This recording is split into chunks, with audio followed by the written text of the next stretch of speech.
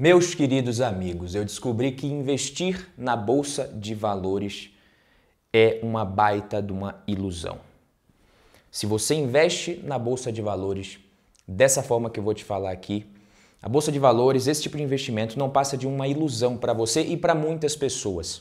E quem investe na bolsa de valores dessa forma, se iludindo, vai muito mais se machucar, perder dinheiro, do que se beneficiar de tudo que isso pode gerar de retorno financeiro na sua vida, de construção de patrimônio, de liberdade financeira.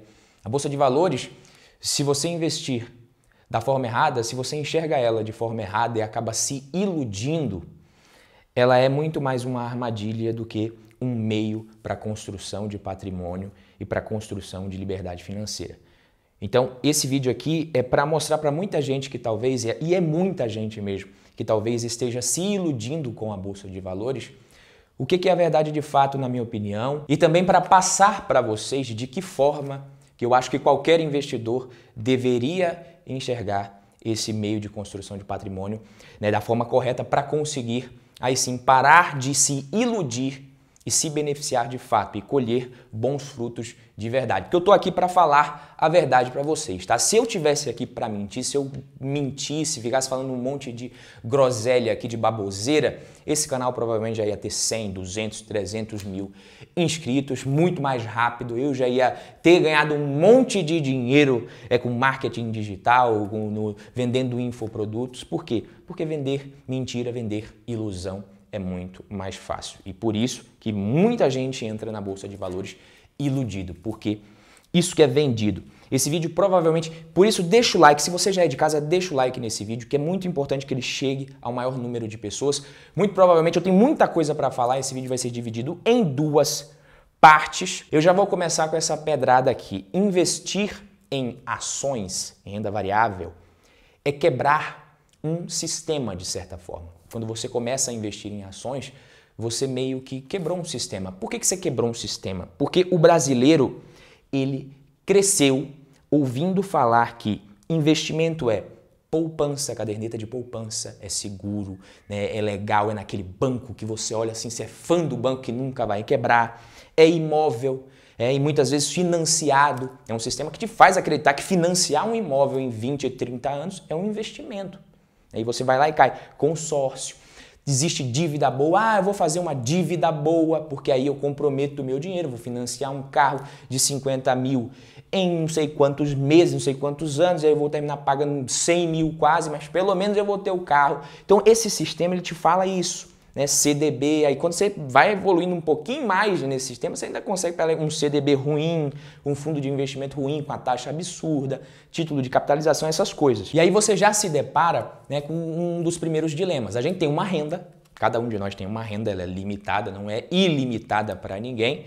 E a gente precisa. Uma, uma porcentagem muito alta disso já vai em impostos, se você é CLT, prestador de serviços, autônomo que seja uma parte muito grande já vai em impostos, não tem jeito porque é consumo.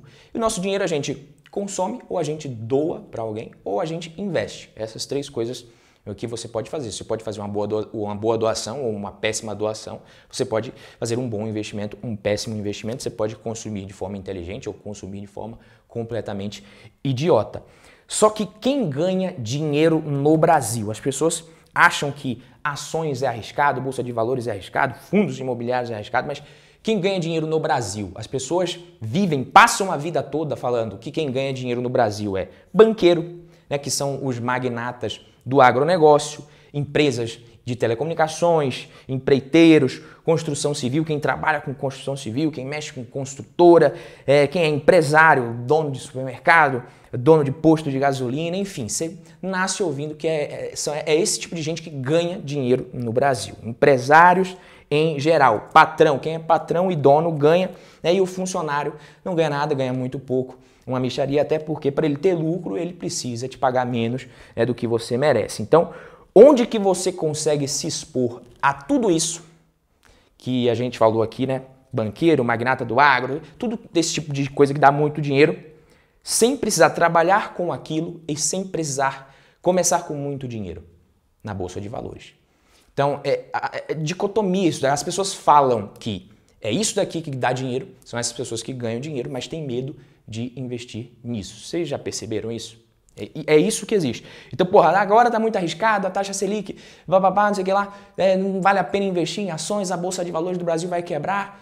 Mas você acha que isso vai mudar? Que vão ser outras pessoas que vão começar a ganhar dinheiro no Brasil. Não vai ser mais banqueiro, não vai ser mais construção civil, não vai ser mais empresário. Não vai ser mais isso daqui. Vai ser quem tem dinheiro na renda fixa que vai ganhar dinheiro no Brasil da agora para frente. E, e, vai deixar onde? Em que banco, né? Se banqueiro não vai ganhar mais dinheiro. Então, isso aqui já é uma coisa que você deveria parar para pensar. Porque as pessoas que têm medo de investir são as mesmas que vivem falando que é só empresário que ganha dinheiro no Brasil. Então, pô, se é só empresário, por que não investir nas melhores empresas do país a preços mais baixos? nesses momentos de pessimismo do mercado, quando as ações ficam mais baratas. E aí existe uma parcela da população que consegue, e você talvez faça parte dessa parcela da população, que consegue pagar todos os seus custos de vida com a renda que tem e ainda sobra. E ela precisa decidir o que, é que ela vai fazer com esse dinheiro. Talvez você seja uma dessas pessoas. Né? E ela consegue se manter e sobra. Né? Só que essa parte, esse dinheiro, ela vai investir no quê? No que, que ela vai colocar isso daqui? E aí, quando o cidadão, quando a pessoa, o investidor, ele decide investir no mercado de capitais, em ações, fundos imobiliários, ele quebra isso daí. Ele sai desse grupo dos poupadores e passa a ser um investidor de fato. E aí, por isso que eu falo, quando isso acontece, você quebrou esse sistema que ganha com a ignorância dos poupadores. É um sistema que ganha, porque se você está poupando, você está emprestando dinheiro. Na renda fixa, você está emprestando o seu dinheiro para alguém. E em teoria, na, na, verdade não em teoria, na prática, esse alguém que está pegando o seu dinheiro emprestado acredita, tem plenas convicções que consegue ganhar mais dinheiro com ele, mesmo te pagando uns juros, né, do que o que ele está te pagando. Então você também pode fazer isso. Você pode, às vezes, acreditar, pegar uma parcela do seu capital e correr um pouquinho mais de risco para ser melhor remunerado. Mas muita gente não faz isso. Existem três, quatro tipos de pessoas. Você tem ali, eu até anotei aqui, o, CLT, né, que não tem coragem de abrir nem uma lojinha na garagem de casa, mas que critica o, o sistema e passa a vida falando mal, porque é assim que o sistema funciona, do jeito que eu estou falando para vocês. E ele é um mau funcionário é, revoltado, frustrado, acha que tudo é culpa do sistema, que é por isso que ele é pobre, que ganha pouco, que todo mundo xinga ele, que o patrão xinga, que ele não para nunca num emprego e ele passa a vida sendo um péssimo CLT e gastando tudo que ganha. Até porque, como ele ganha pouco, porque produz pouco, vai tudo com consumo mesmo. E o pouquinho que poderia sobrar para ele investir ali em educação, fazer um treinamento, né, poupar, fazer uma reserva de emergência, ele não faz, ele gasta. E aí você tem é quem não quer ralar, quem não quer dar duro para passar por o grupo ali das pessoas que ganham mais dinheiro, que conseguem empreender, que conseguem faturar mais e, e criticam o sistema e quer que o sistema mude, né? Não quero mudar, eu quero que o sistema mude para ser todo mundo igual. É, nem vou falar aqui de, de política para a gente não entrar nesse mérito. Você tem quem se arrisca, vai para cima, tenta empreender, tenta ganhar dinheiro de verdade, fora da bolsa de valores e tentar construir algo maior ali consegue, muita gente se dá mal, mas aprende, bate a cabeça. E você tem quem aceita isso, você tem as pessoas que aceitam isso daí, mas que resolvem ser um bom profissional. E não tem problema nenhum com isso. Você vai ser um bom profissional, CLT, um prestador de serviço, que seja. O que você escolher fazer, você vai ser um bom profissional, por isso que você vai ganhar mais do que a média. Aquele tipo de profissional ali que o patrão passa até mal se pensar na possibilidade do cara pedir demissão, sabe? Você fala assim, pô, se você é empreendedor, se você é empresário, tem algum funcionário assim, você vai lembrar dele agora. Você fala, pô, bicho, eu não posso perder aquele cara. Se ele abrir a boca para falar que teve uma proposta, eu cubro. Esse cara, ele não é empreendedor, mas ele se dá bem na vida. É, e muitas vezes ele é feliz fazendo alguma coisa que gosta. E a bolsa de valores ela não passa de uma ilusão, por quê? Porque a ilusão das pessoas de que vão ficar ricos na bolsa de valores é isso que me incomoda. E é isso que eu falo. Pô, se você chegou até aqui e ainda não está inscrito, se inscreve, deixa o like. As pessoas acham que vão ficar ricas na bolsa. E se entra desse jeito, vai se dar muito mal. Se você está investindo na bolsa de valores, já investe há um tempo e acha que vai ficar rico na bolsa de valores por causa da bolsa de valores, Não vai. Tem como você resolver bem a sua vida financeira, ficar bem tranquilo, mas ficar multimilionário, ficar rico na bolsa, só com a bolsa, não vai. Remuneração de capital, pessoal. Você tem um capital para investir. A remuneração ela é proporcional ao risco. Não tem jeito. Então eu vou fazer algumas perguntas para vocês. O que, que você acha melhor? Investir na Ezetec, na Cirela ou abrir uma construtora? Ter a sua construtora que deu certo, está faturando, ganhando dinheiro ali. Construtora. Você é, comprar ações da Taesa, da Sanepar, da Semig ou você ter uma empreiteira que presta serviço para algumas dessas empresas de utility. Ter a sua empreiteira, tendo uma empreiteirazinha ali que vai prestar serviço e tal, você vai ganhar muito mais dinheiro. E aí você prefere investir em Renner ou ter a sua loja de roupa bem sucedida, a, a trabalhar com moda, varejo de vestuário, vender, faturar, ter seu e-commerce também, faturar bem, criar sua própria marquinha ali, a sua própria marca, depois de um tempo ralando, ganhando muito dinheiro. É claro que é empreendendo. JBS, Marfrig, é, Brasil Agro, ou você cair para dentro ali do agronegócio, meter as caras e resolver virar um produtor, virar um produtor né, de gado, um produtor de commodities agrícolas, de soja. Então, é, você precisa correr mais risco para ganhar mais dinheiro. Você está disposto a isso? Você quer isso? Né? Talvez na bolsa de valores você não consiga e acaba, acabe se frustrando. É, sobre isso a gente vai falar na segunda parte do vídeo, que na segunda parte do vídeo é a melhor de todas. A conclusão que eu vou chegar aqui vai explodir a sua cabeça. É, você precisa de capital, mais execução para você ganhar dinheiro empreendendo. E tem gente que não está disposto, tem gente que não quer executar e tem gente que não tem capital. Eu conheço pessoas muito ricas e que ganham muito dinheiro, e faturam milhões e milhões por ano, que abriram uma empresa com zero de capital.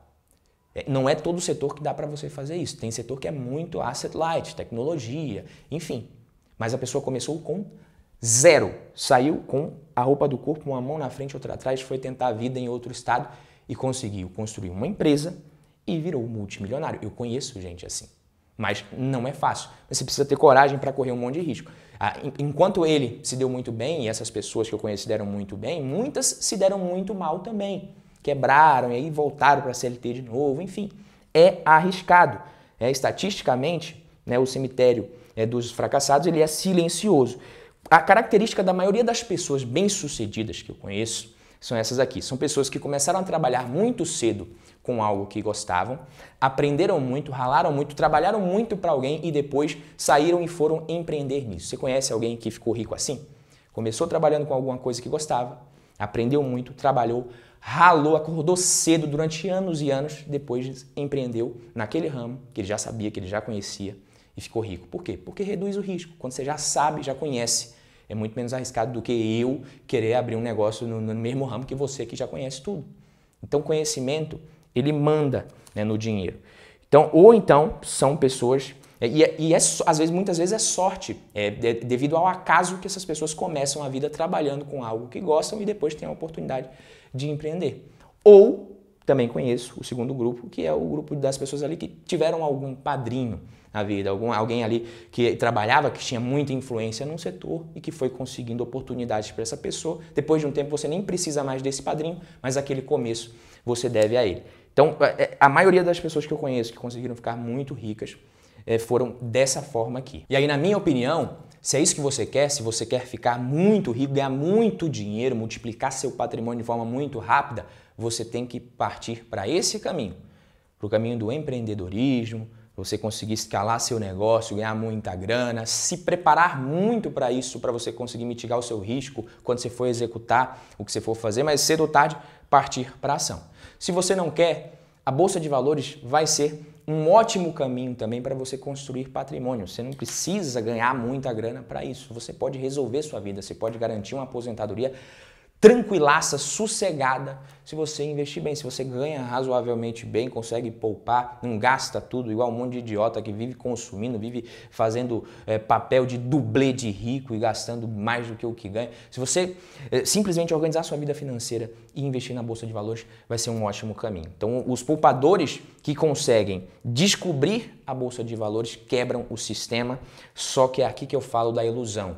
As pessoas que começam a investir, e recentemente nos últimos anos a gente viu um monte de gente entrando na bolsa, milhões e milhões de CPFs, a internet ajudou pra caramba, mas é muita gente que entrando também com a mentalidade errada, com essa mentalidade de ficar rico, assistindo anúncio, de, eu nem vou falar aqui os anunciantes né, para não ficar, ser processado, mas as pessoas que entram na bolsa com essa esperança de ganhar muito dinheiro e ficar rico, às vezes não, às vezes você já entra até com a mentalidade bacana, mas tem dois destinos. Você tem o destino de ser bem sucedido, que não é ficar multimilionário da noite para o dia ou muito rápido, e é relativo, o sucesso do investidor na bolsa de valores é relativo, é muito relativo, não, é, não tem a ver com o patrimônio que você vai conseguir acumular, vai depender do quanto você ganha e poupa, é muito mais do que da bolsa de valores. Na bolsa de valores é só o meio. Quem manda no jogo é você. E o segundo destino é fracassar e voltar para o modo antigo, para o modo que a gente falou ali do rentismo, para quem vive né, naquele outro lado obscuro lá que beneficia mais o sistema do que a si mesmo. E essas pessoas que fracassam, elas fracassam por dois motivos principais. E é bom você anotar isso daqui se você está começando a investir agora, para você não cometer esses erros e para você se ligar em tudo, tudo que é pensamento que paira na sua cabeça. E aqui, para mim, é o coração do vídeo, é a parte mais importante.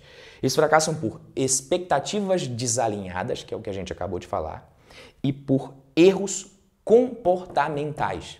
Não é por causa de inteligência, de saber escolher as melhores ações, os melhores ativos, papapá. Não, é erro comportamental. E hoje eu quero falar com vocês aqui sobre um dos problemas que leva muitos investidores para o grupo dos fracassados. E se você evitar isso daqui, você vai para o grupo dos bem-sucedidos, dos que têm sucesso. E esse problema ele tem a ver com escolhas, meus amigos.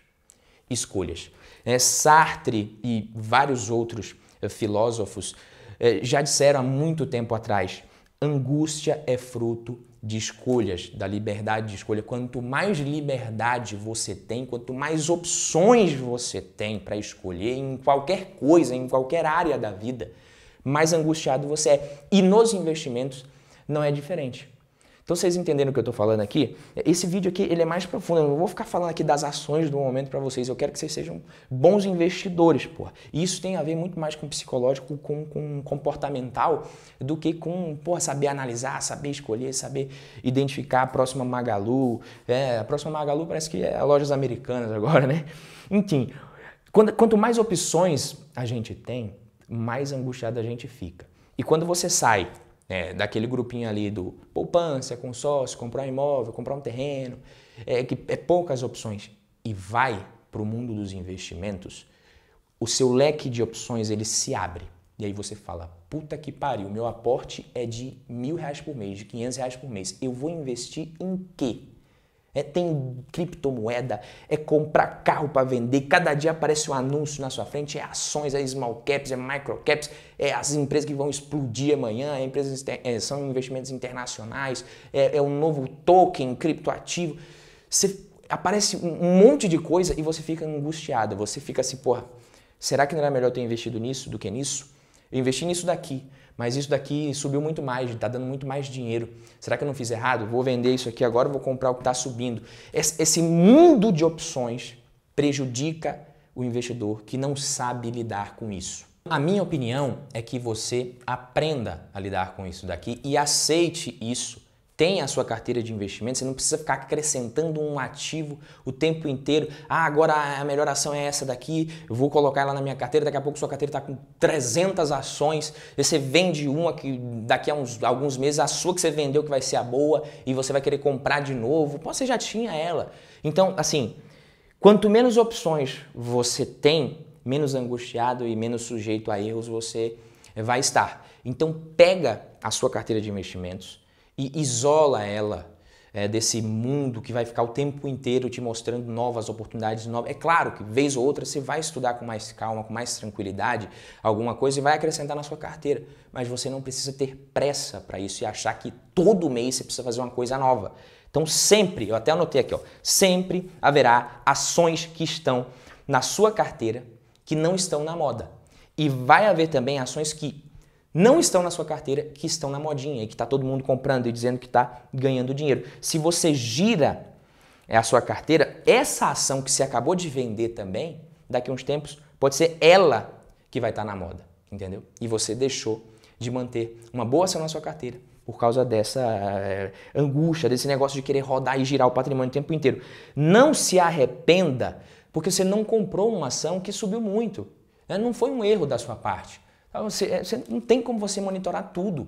Ah, essa ação aqui subiu, eu deveria ter comprado. Foi um erro. Não foi um erro. Talvez, se você tivesse comprado e ela tivesse subido, aí, aí sim teria sido um erro. Mesmo você né, ganhando dinheiro, tendo lucro. E outra coisa, você compra ali uma coisa que você não conhece muito, sobe ali 50%, 100%, você já vende, você não segura. E aí que a gente vai chegar em outro ponto aqui, tá? Não acrescente só por medo de perder dinheiro e se você não consegue controlar isso daqui, invista de, da forma mais passiva possível. Investe em ETFs, tem ETFs na Bolsa de Valores americana é, de fundos imobiliários, os REITs, é, de vários é, tipos de empresas, ETFs temáticos. Aqui na nossa Bolsa de Valores você tem ETFs também, até fundos de investimento, bons fundos, é claro. E outra coisa, o, o, o sucesso está muito mais na espera, a espera ela é muito maior, é muito é, mais interessante do que a compra e a venda. Compra e venda tem a ver com o momento. Acertar o momento de comprar e o momento de vender. Isso não está no nosso controle. A espera está. Então, é, a minha sugestão para você parar de se iludir com bolsa de valores e, e fazer o que tem que ser feito de verdade para você ter sucesso né, nesse que é um meio de construção de patrimônio é você reduzir essa angústia de ter que saber entender tudo que está acontecendo todos os dias, quais são os ativos do momento. Reduz isso, aceite isso daí. Isso não vai. E você vai conseguir reduzir isso e não vai conseguir eliminar. É, aprenda, limite os seus ativos e invista focado em renda passiva e construção de patrimônio. Se está te dando muito trabalho para investir, para manter a sua carteira de investimento, aí não é renda passiva mais. Aí você já está consumindo muito seu tempo, é renda ativa, você está trabalhando para isso. E não é o certo, na minha opinião. Foca em trabalhar para você ganhar mais dinheiro, para você investir muito mais, aportar muito mais em coisas, em ativos que você não vai precisar né, se preocupar tanto, que não vão te dar tanto trabalho. Né? Trabalhar demais é renda ativa. Tudo que te der trabalho demais é renda ativa. E, é, e aí você aceita que a Bolsa de Valores é um meio de construção de patrimônio e que não vai te deixar rico da noite para o dia. Dessa forma, você tem muito mais chances de ter sucesso na sua jornada. Beleza? Esse foi o vídeo, deve ter ficado muito longo, eu não sei com quantos minutos ficou. Fico por aqui se você gostou, deixa o like, se inscreve no canal que a gente se vê na próxima. Tamo junto, valeu!